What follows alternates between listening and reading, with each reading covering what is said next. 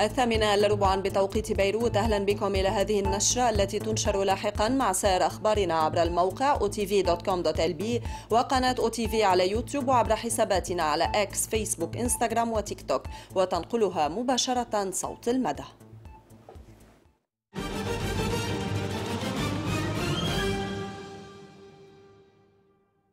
لما بنقول ما بدنا نازحين هيدا شيء لازم نشوف حالنا فيه ونكرسه بالفعل مش بالقول إيه ما بدنا نازحين سوريين وفلسطينيين يجوا ياخذوا محلنا. محل مين عم ياخذوا هول بوجودهم بشغلهم بعيشهم. شو نحن عم نعلم تربية؟ لما بيتعلموا اليوم نحن بدنا منهج سوري بلبنان عم بيتعلم اليوم في مدارس عم تعطي المنهاج السوري. وين سيادتنا؟ وين كرامتنا؟ في شي بلد بكل العالم بيعلم منهج بلد تاني؟ ما بكفينا الفلسطينيين بلبنان تيجونا بقية المخيمات على لبنان؟ ما بكفونا السوريين بلبنان تيجونا بقية السوريين على لبنان؟ هيدا مش تفكير عنصري ابدا هيدا تفكير وطني وكل واحد بده يشوف حاله فيه لأنه اللي عم يجي يشتغل هون عم يجي ياخذ محل واحد لبناني عم بيهاجر؟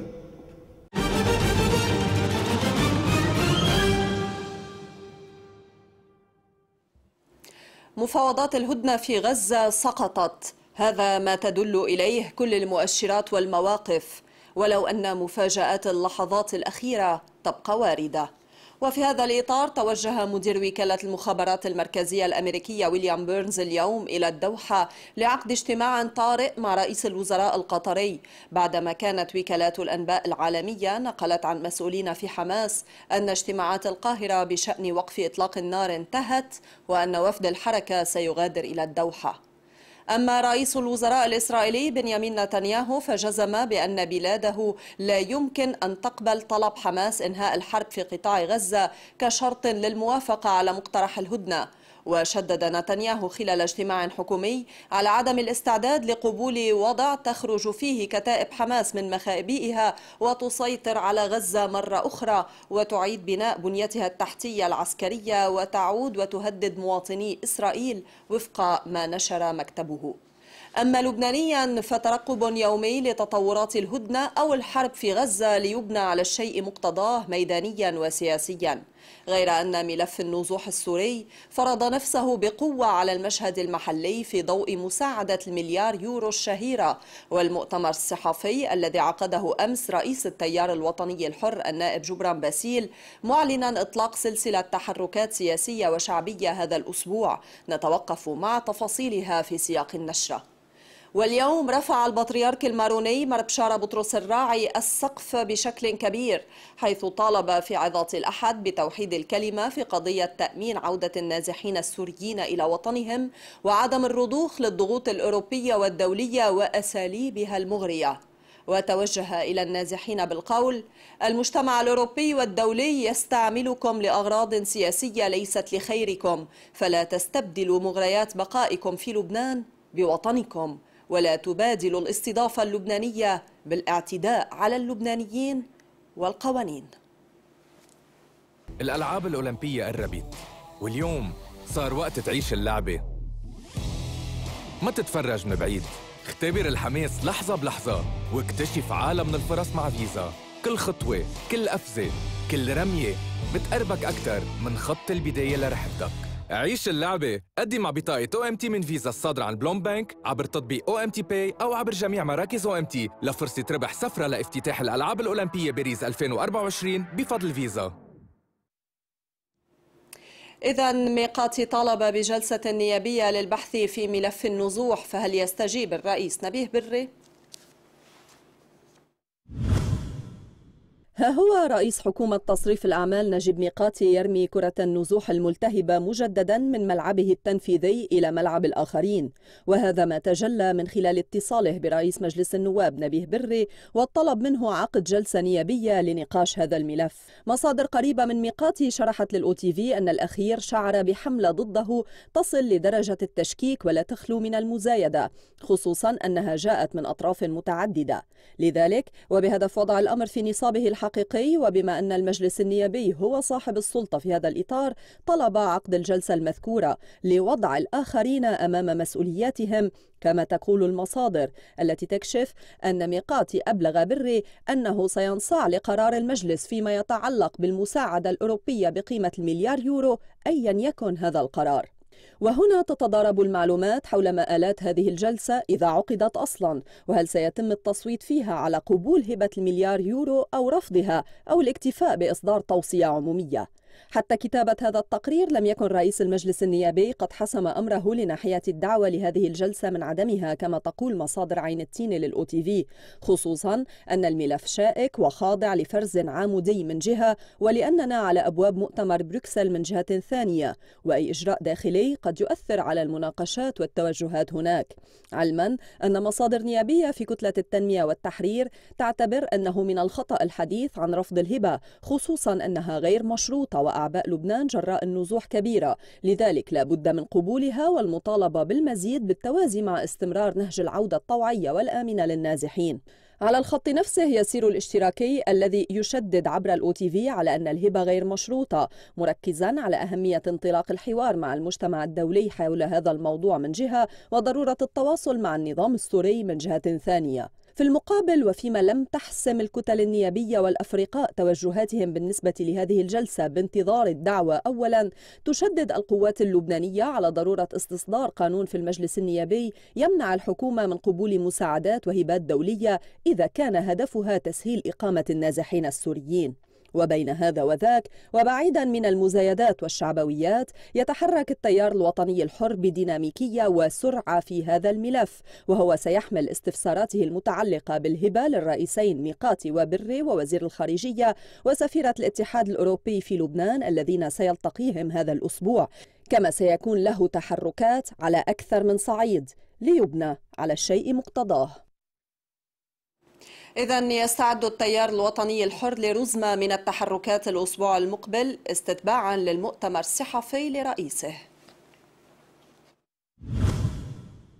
سلسلة من التحركات يستعد التيار الوطني الحر للقيام بها الأسبوع المقبل لوضع نقاط على حروف ضائعة لدى المعنيين في ملف النزوح السوري وذلك استتباعا للمؤتمر الصحفي لرئيس التيار النائب جبران باسيل. لذلك سيلتقي وفد من التيار نوابا ومسؤولين، رئيس المجلس النيابي نبيه بري ورئيس حكومة تصريف الأعمال نجيب ميقاتي الجمعة العاشرة صباحا ووزير الخارجية عبد الله أبو حبيب الثلاثاء العاشرة صباحا. وذلك لفهم بعض المواقف التي أعلن عنها جهارة كان من الأوروبيين أو من غيرهم مرتبطة بملف النزوح والخطر الذي يشكله هذا الملف على النسيج اللبناني والثقل الذي يرخي به على كاهل اللبنانيين. وفي هذا الإطار قالت مصادر التيار عبر الأو تي في إن التيار سيطرح هواجسه لا بل سيعيدها ويكررها على مسامع المعنيين لأنه كان على مدى سنوات طوال يضعها على الطاولة وبرسم الرأي العام اللبناني والجميع يعرفها وهو ينطلق من نقاط عدة إحداها الإعلان الأوروبي عن رزمة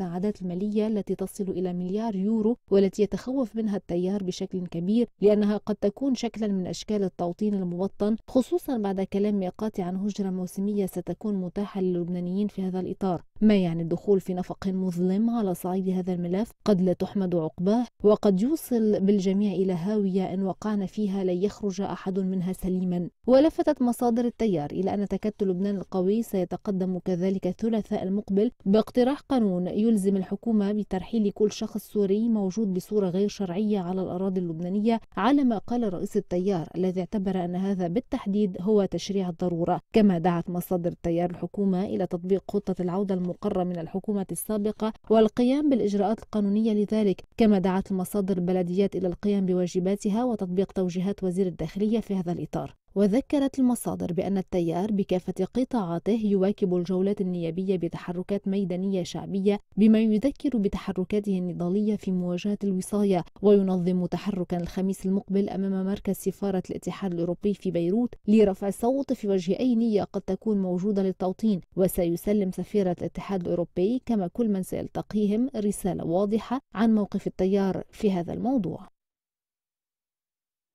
من جانبه أكد البطريرك الماروني الكاردينال مار بشارة بطرس الراعي في عظات الأحد ضرورة الإسراع في انتخاب رئيس للجمهورية والإسراع في إيقاف الحرب على جنوب لبنان وتوحيد الكلمة في قضية تأمين عودة النازحين واللاجئين السوريين إلى وطنهم وعدم الرضوخ للضغوط الأوروبية والدولية ولأساليبها المغرية بهدف تجنب عودتهم وإبقائهم في لبنان لأهداف سياسية ليست لصالحهم ولا لصالح لبنان متوجها للنازحين السوريين. السوريين توحيد الكلمة في قضية تأمين عودة النازحين واللاجئين السوريين إلى وطنهم وعدم الرضوخ للضغوط الأوروبية والدولية وأساليبها المغرية بهدف تجنب عودتهم وإبقائهم في لبنان. لأهداف سياسية ليست لصالحهم ولا لصالح لبنان. فنقول لهم المجتمع الأوروبي والدولي يستعملكم لأغراض سياسية ليست لخيركم. لا تستبدلوا وطنكم بمغريات بقائكم في لبنان.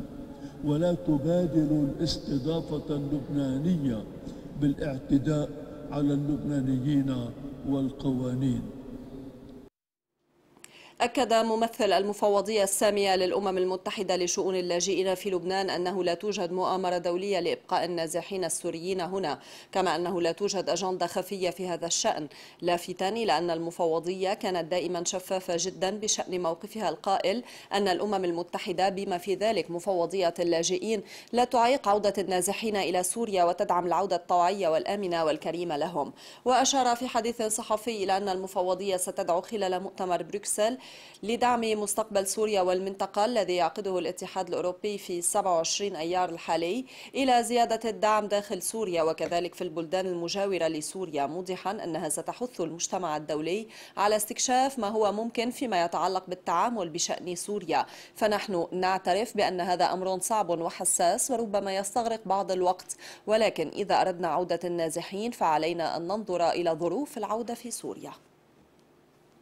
عضو تكتل لبنان القوي النائب سيزار أبي خليل اعتبر أن موقف البطريرك الراعي في غاية الأهمية منتقدا خطوة رئيس حكومة تصريف الأعمال نجيب ميقاتي الذي دعا بر للقيام بجلسة نيابية. اليوم آه، صار واضح جدا إنه أوروبا عم تنتهج آه، سياسه بتأمن مصالحها بالأمن والاستقرار. إنما هيدي السياسة عم تتعارض مع مصالحنا نحن كلبنانيين بالأمن والاستقرار بحيث إنه أوروبا يلي هي 10 مليون كيلومتر مربع قد لبنان على ألف مرة منا قادرة تستوعب العدد آه، يلي استوعبه لبنان وعم بتفتش على إبقاء هودي النازحين في لبنان وعدم مغادرتهم إلى آه، إلى أوروبا. وزيادة عن هيك هيدي السياسة باتت عم بتشكل خطر وجودي علينا كلبنانيين بحيث إنه تطبيقها عبر اللي انعرض امبارح من قبل رئيسة المفوضية واللي سمعناه من رئيس حكومة تصريف الأعمال هو آه، تسهيل لهجرة اللبنانيين واستبدالهم بشعب آخر على أرض على أرض. اليوم آه، العودة لا يجب أن تكون نحن عم نحكي عن العودة الآمنة والكريمة العودة الطوعية هيدي سياسته هو. ما دام هو بده ينتهج هيدي السياسة هيدي السياسة عم بتضر بمصالحنا. هو حقه يبري حاله ويقول أنا ما عندي أجندة خفية إنما سياسته عم بتضر بمصالحنا. نقطة على السطر. لا يمكن أن ينوجد على أرضنا هيدا الإنسان ويدعي لسياسات تناقض سياسات ومصالح الدولة اللبنانية. نعم. سعادتك الدولة اللبنانية غير موافقة والخطة يلي اعتمدتها الحكومة اللبنانية السابقة واللي قبلها. تحكي نعم. عن عودة آه، آمنة وكريمة. العودة الطوعية هيدي مش بالفوكابولير تبعنا مش بمفرداتنا. بيتفضل الأستاذ إيفو يغير هيدي هيدا الفوكابولير هيدا. متمنى الهدنة الإعلامية بس الظاهر ما بيعرف ما بيعرف آه، يلتزم فيها رئيس حكومة تصريف الأعمال ولا معروف بثباته على مواقفه آه، لا لا لمده بتفوق ال 24 ساعة الظاهر. بكل الأحوال اللبنانيين بيعرفوا كثير منيح. مين اللي عم بيقاتل لمصالحهم؟ ومين اللي بيقبل رشوة دولية؟ وما بيعرف المصلحة وين ويسعى إلى استرضاء الخارج على حساب المصلحة اللبنانية وعلى حساب اللبنانيين وعلى حساب وجود اللبنانيين. بقى لا اليوم اللبنانيين كثير منيح بيعرفوا مين هو نجيب مئاتي ومين هو التيار الوطني الحر. إلى ملف رئاسة الجمهورية الذي حضر, حضر في عظات عيد الفصح بحسب التقويم الشرقي حيث أكد متروبوليت بيروت وتوابعها للروم الأرثوذكس المطران إلياس عودة أن لبنان بحاجة إلى من يحبه محبة صادقة بعيدة عن الحقد والشر والطمع والفساد وإلى مسؤولين يعملون من أجله لا من أجل مصالحهم وإلى نواب يقومون بواجباتهم بعيدا عن المصالح والغايات الشخصية مشيرا إلى أن أولى هذه الواجبات الاجتماع خلال المهلة الدستورية التي يحددها الدستور من أجل انتخاب رئيس للجمهورية. لقد مضى ما يقارب العامين على انتهاء هذه المدة ولم ينجزوا واجبهم. وكأن البعض استساغ الفراغ واستغنى عن وجود الرئيس. نراهم يجتمعون عندما تدعوهم المصالح وتتضافر جهودهم من أجل إتمام المقتضى. فإذا كان بإمكانهم الاجتماع فلما لا ينتخبون رئيسا؟ ولما لا يطبقون الدستور؟ الدستور المفروض أن يكون مرجعهم الوحيد. ولما لا يحترمون المواعيد الدستورية كلها؟ ولما يتخطون المفاهيم؟ الديمقراطية. أهمية تطبيق القرار 1701 وضرورة أن تكون مادة إجماع حضرت في كلام عضو اللقاء الديمقراطي النائب وائل أبو فعور الذي اعتبر أنه يجب أن يكون هناك مقاربة وطنية مسؤولة حكيمة شاملة متوافق عليها بين كل القوى السياسية اللبنانية للأمر. المطالبة بتطبيق القرار 1701 هي مطابقة مطالبة شاملة عامة بين كل اللبنانيين. وليس هناك بين اللبنانيين حتى الذين يؤيدون الشعب الفلسطيني بالقول ونحن منهم أو يؤيدون الشعب الفلسطيني بالفعل وهم جزء من العمليات العسكرية حزب الله أو غيره من القوى حركة أمل أو غيره من لا يقول بتنفيذ 1701 لماذا تحويل هذه المطالبة بتنفيذ القرار 1701 إلى مطالبة إلى مسألة خلافية بين اللبنانيين؟ إذا كنا نجمع جميعنا على أن مصلحة لبنان هي في تنفيذ القرار 1701 وطبعا مصلحة لبنان هو في التزام الإسرائيلي بال 1701 وتطبيق القرار الدولي رقم 1701 يجب أن لا يكون مادة خلافية بين اللبنانيين. وتطبيق القرار 1701 يجب أن لا يكون لا إرضاء لأحد ولا خوفا من أحد ولا مسايرة لأحد بل يجب أن يكون بهدف واحد وحيد هو حماية لبنان من العدوانية الإسرائيلية التي نرى جزءا منها اليوم والتي يمكن أن نرى ما هو أكبر ورأينا حجم البشاعات ولا أقول هذا الكلام من باب الخوف ولكن أقول من باب الحرص الوطني. ويجب أن يكون هناك مقاربة وطنية مسؤولة حكيمة شاملة متوافق عليها بين كل القوى السياسية. اللبنانية لتطبيق القرار 1701 ليس على قاعدة التحدي ولا على قاعدة الاصطفافات السياسية وأيضا ليس على قاعدة التخوين لأي طرف من الأطراف في لبنان. المزيد من الأخبار ولكن بعد الفاصل.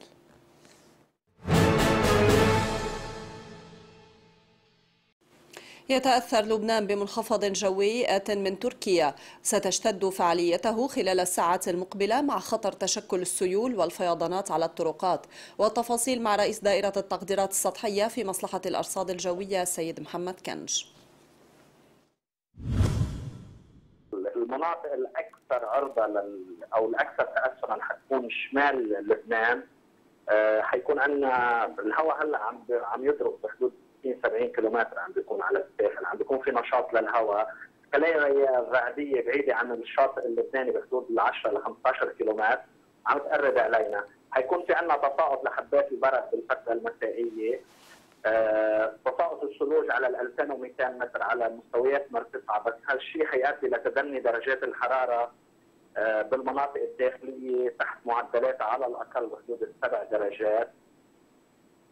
كمان الغزارة الغزارة فينا نحكي عن فترة الغزارة حتكون من مساء اليوم لصباح بكرة.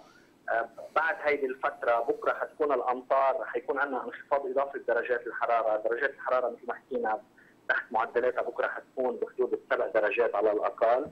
الهواء بكرة بحدود 50 كم بالساعة، بكرة الأمطار حتكون بشكل متفرق، تشتد أحيانا مع برق ورعد أه الثلوج بكرة ممكن على 2100 متر، يعني مستويات ال 2000 متر حتشوف بعض الثلوج، حدة الأمطار بتبلش تخف من بكرة المساء وحيضل عندنا احتمال أمطار لتقريبا آه، الفترة الصباحية لنهار الثلاثاء، من ظهر نهار الثلاثاء والضوء ببلش يستقر الطقس ونبلش نلمس ارتفاع درجات الحرارة لكن بتضلها تحت معدلاتها لشهر أيار، أنا بدي أذكر بشهر أيار بالعادة الحرارة بتكون بحدود 27 درجة على الساحل آه حنشوفها بين ال 21 ل 19 درجة. يعني بالداخل حتكون بحدود ال 19 على الساحل بحبه الأكثر بتكون حتكون بكرة بحدود ال 21 22 درجة. مش أكثر من هيك. فينا نحكي عن 12 ساعة لون غزارة والباقي أمطار متفرقة تقريبا من بكرة الظهر لظهر نهار الثلاثاء هلا ما منا موجة حر قد ما هي إنه درجات الحرارة حتبلش تتعافى. يعني نحن عم نحكي هلا هاليومين عن درجات حرارة تحت معدلات السبع درجات. آه، بدها ترجع تتعافى. يعني بدها ترجع تطلع درجات الحرارة. المزيد ولكن بعد هذا الفاصل.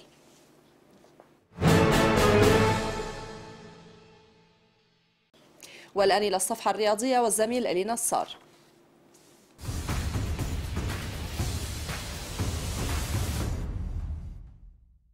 نظم نادي العاصفة جل الديب النية بالتعاون مع الاتحاد اللبناني للشطرنج الصيني بطولة باللعبة بالحديقة العامة بجل الديب حيث أطلق على البطولة اسم بطولة الشيف موريس زرد السنوية الأولى لتشجيعه الدائم للشباب والشابات اللبنانيين لممارسة والتمرس بالألعاب الفكرية خصوصا الشطرنج الصيني. شارك بالبطولة 67 لاعب مثلوا نوادي العاصفة جل الديب الجيش سنابل بيروت المشاريع بيروت مدرسة الإيمان عرمون مدرسة سان جورج بصليم الجمعية العربية الصينية للتعاون والتنمية الجمعية الرياضية بدير القمر. نادي سان جورج الرياضي الزلقة لاعبين من الصين مقيمين بلبنان ولاعبين سوريين مقيمين بلبنان. بالنتائج وبعد كسر التعادل قدم أحمد نجار من السباق بفئة أعلى المصنفين ربح الصيني شيانغ تشين بست نقاط قدام أحمد نجار من السنابل أربع نقاط ونص والمؤهل الأول مروان شربل من الجيش أربع نقاط ونص. بالفئة العامة ربح عبد الله عزام بست نقاط قدام رامي ريمين خمس نقاط ومصطفى القردي من نادي المشاريع أربع نقاط.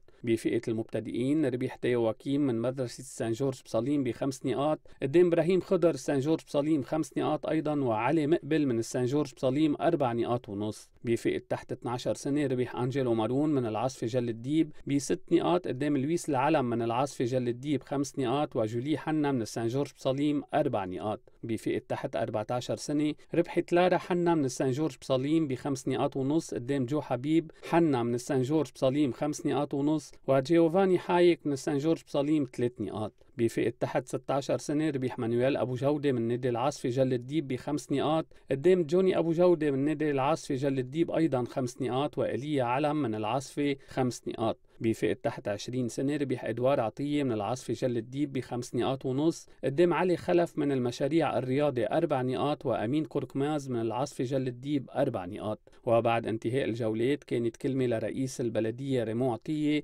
رحب فيها بالمشاركين وأعلن أنه الرياضة الفكرية ممتازة للاعبين واللاعبات ولرئيس الاتحاد العميد الركن المتقاعد لياس أبو جودة. بعدها تم توزيع الشهادات والميداليات والكؤوس على الفائزين من قبل كبار الحضور والأمين العام للاتحاد اللبناني كما قدم الاتحاد لراعي الحفل هدية رمزية.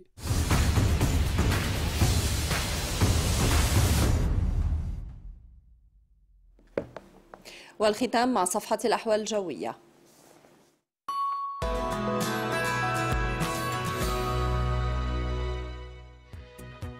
مساء الخير. منخفض جوي عم بيسيطر على أجوائنا عم بيؤدي إلى طقس متقلب وماطر بغزارة أحيانا مع انخفاض بدرجات الحرارة. بيستمر تأثيره حتى صباح الثلاثاء ليستقر اعتبارا من الأربعاء إذا جونا لبكرة غائم وكيف رح تتسجل درجات الحرارة بمختلف المناطق اللبنانية بنشوف سوا.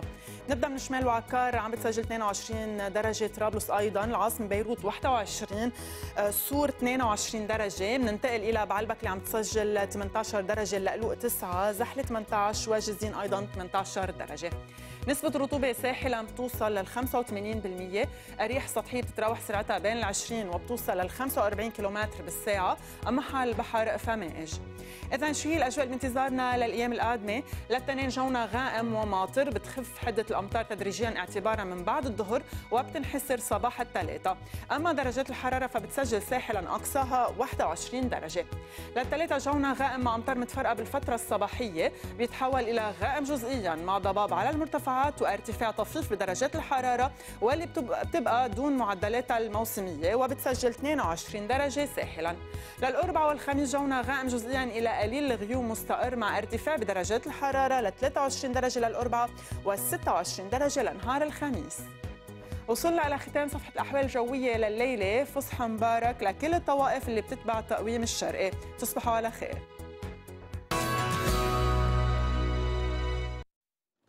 وبهذا نصل إلى ختام نشرتنا. شكرا لحسن المتابعة. للمزيد تابعونا عبر الموقع otv.com.lb وعبر حساباتنا على مواقع التواصل الاجتماعي. إلى اللقاء.